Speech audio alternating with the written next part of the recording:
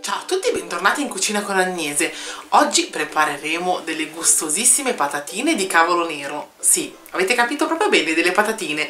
Un'idea alternativa alle classiche patatine e anche più salutari.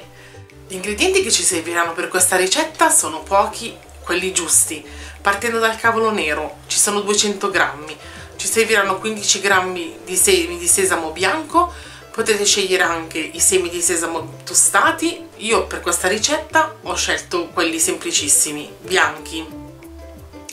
Ci serviranno 15 grammi di semi di lino 6-7 cucchiai di olio extravergine di oliva mi raccomando sempre quello buono sale e pepe. Preriscaldate il forno a 180 gradi e mettiamoci subito a cucinare che in 10 minuti abbiamo pronto l'aperitivo Pulire il cavolo toscano è veramente semplicissimo. Per questa ricetta ho eh, scelto di comprare, di acquistare le cime, lasciando eh, per questa volta la, le parti più esterne per la ribollita, sempre toscana.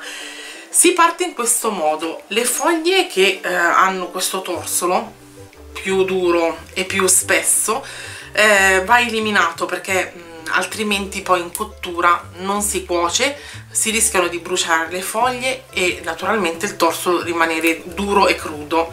Si fa in questo modo, si gira la foglia, si tiene saldamente entrambi i lati e si tira. E questa sarà la foglia che ci servirà. Naturalmente invece come vedete le foglioline, quelle più tenere, ho lasciato anche la parte, la parte coriacea attaccata io finisco di fare queste nel frattempo il forno si preriscalda e poi abbiamo finito. Queste all'interno più tenere io personalmente le lascio proprio così. Mi sono procurata anche una teglia ricoperta di carta da forno questi li lascio un attimo da parte ah, dobbiamo andare a mescolare insieme all'olio i semi di lino i semi di sesamo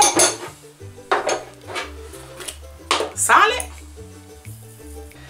e infine pepe nero. Io mescolo tutto direttamente con il pennello che utilizzerò per spennellare le, le foglie. E ora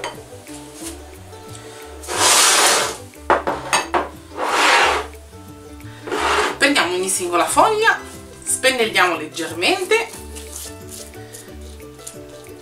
con il nostro composto e la mettiamo sulla e la adagiamo sulla carta forno. Bisogna fare così per tutte le foglie. Armatevi un po' di pazienza ma il risultato vi assicuro buonissimo. Io finisco finisco di prepararle il primo vassoio è pronto per andare in forno, il mio forno è già caldo, cuociono per 10-15 minuti, mi raccomando devono diventare croccanti, non bruciacchiate e poi il gioco è fatto. In 10 minuti esatti le chips di cavolo nero sono pronte per essere gustate. Facile, veloce, deliziosa questa ricetta, ve lo assicuro. Io ne ho già assaggiata qualcun'altra, ma ne voglio rubare un'altra